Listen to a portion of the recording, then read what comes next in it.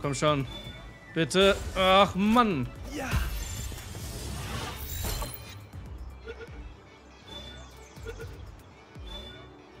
Ja! Ja! Wir haben die Händlerin gefangen. Auf der Insel Fangen von Menschen. Was stand da gerade? Keine Ahnung. Ist mir egal, Alter. Wir haben die gefangen, die Händlerin. Haha.